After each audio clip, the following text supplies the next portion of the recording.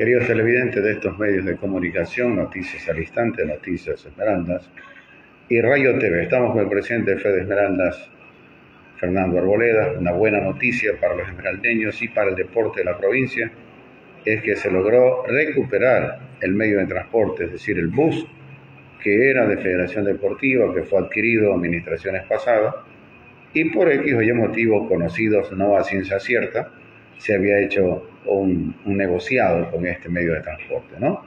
Lo importante, obviando todo aquello y saltando toda la información, es que está recuperado y ha quedado un taller para repararlo y pronto venga en servicio. Presidente, gracias por atendernos y bienvenido. Bueno, gracias por dirigirme a mi, a mi cantón de Esmeralda en la provincia, ¿no? Sobre lo deportivo.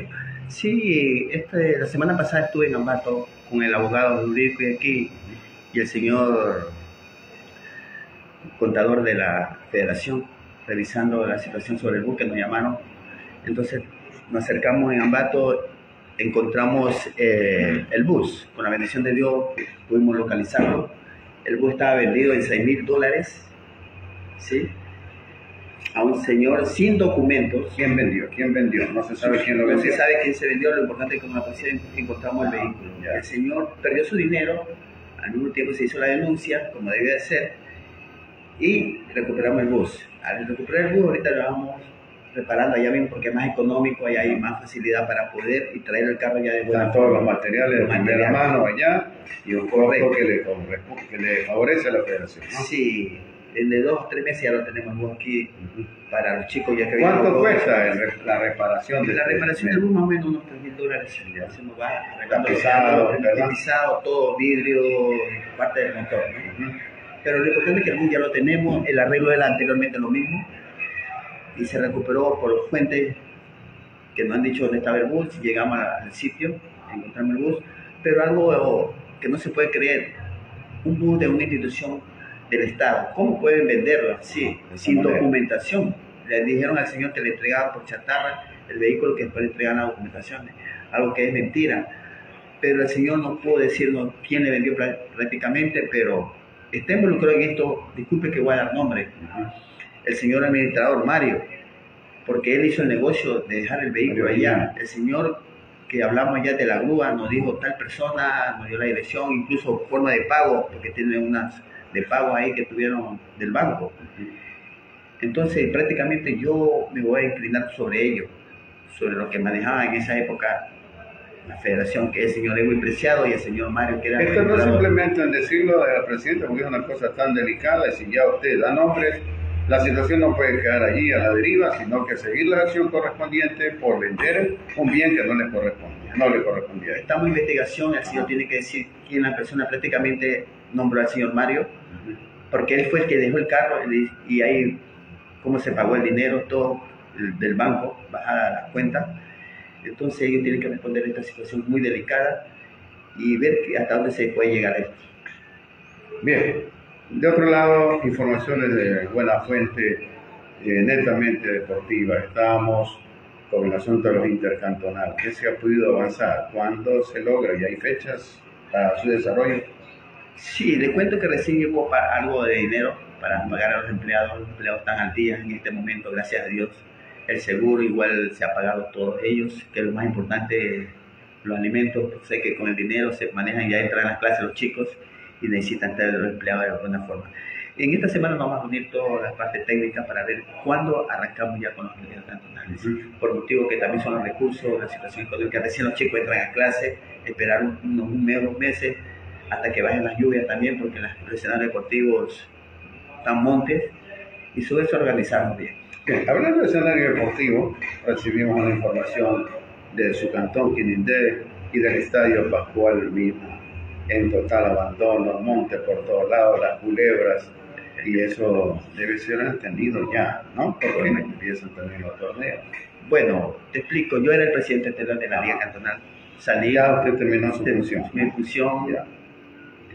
esperemos al nuevo presidente que llegue, esté encargado del Ministerio del Deporte, pero ellos no tienen la situación económica. Se dieron cuenta que no es fácil mantener un estadio de primera, porque la cancha que tiene el Pascual Mina es mejor que la Esmeralda, es la mejor cancha que hay en la provincia.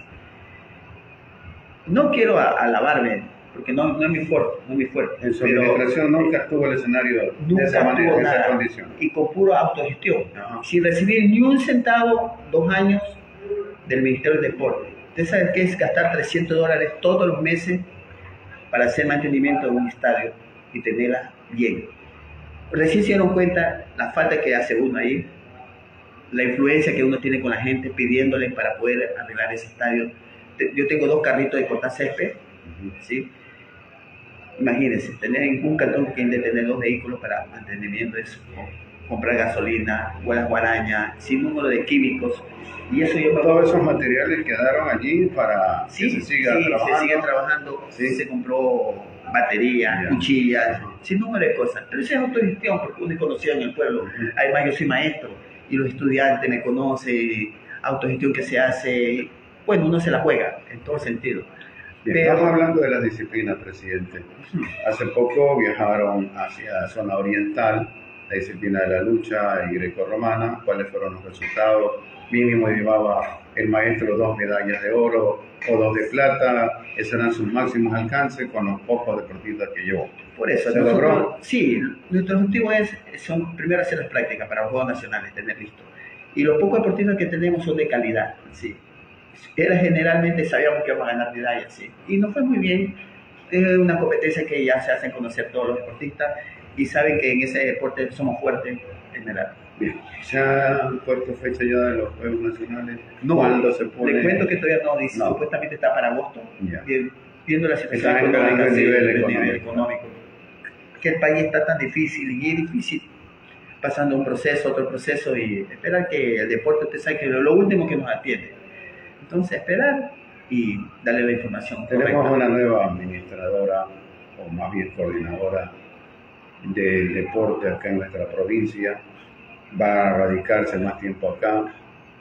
Ya han conversado ustedes, han hecho los primeros cabildeos para ver de qué manera ella sirve como puente al Sí, ministerio. a la ingeniera Joana me acerqué anteayer, conversé con ella unas dos horas, estuve en la oficina, la apertura muy abierta con nosotros, lo que es deporte, incluso ella eh, de este jueves, próximo jueves, vamos a tener una reunión aquí con todas las ligas cantonales, incluso me dijo que va a ser de territorio, vaya a la liga cantonal a ver las necesidades que tienen todas, todos los deportistas, y además a Rafael también a revisar el escenario deportivo, ya que nosotros hacemos el mantenimiento y ella nos va a colaborar con muchas opciones para ver cómo San Rafael nos entrega en el 100%.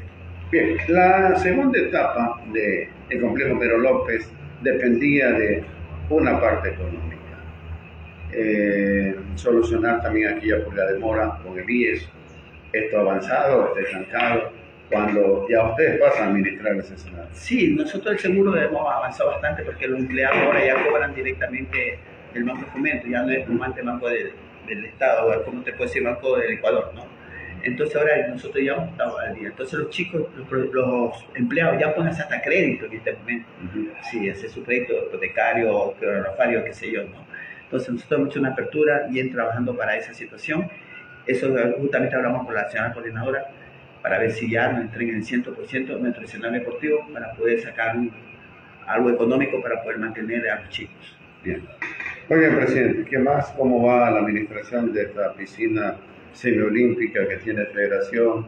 ¿Se va fortaleciendo esta disciplina y competencia para los chicos? Sí, estamos trabajando muy fuerte con los chicos, sí, los vienen a entrenar en la escuelita. Se le da la facilidad, aunque el mantenimiento es muy caro, usted sabe lo de la piscina. Y se está luchando ahí para... ¿Esta piscina produce para su mantenimiento? Mm, Casi nada. Sí, sí produce, por ejemplo, un ejemplo, los vacacionales, ahí te queda algo para poder mantener y mantener esa cancha y los deportistas que sigan elaborando. Porque en el presupuesto el rubro es mínimo. Es mantenimiento. correcto, porque es un deporte caro, ¿no? Ya. Y nuestra gente aquí, enseñarle que, que natación es muy importante. Y se alquila con un mínimo a los- algunos clubes que vienen aquí para poder solamente tener mantenimiento y sobrevivir de eso. Muy amable, presidente. Muchas gracias. Ya, gracias a usted. Queridos televidentes de estos medios de comunicación, muchas gracias a ustedes por la información que se genera desde Fede Esmeralda con su presidente Fernando Arboleda. Con cámara de Luz Almachi, Jorge Orellana en la información.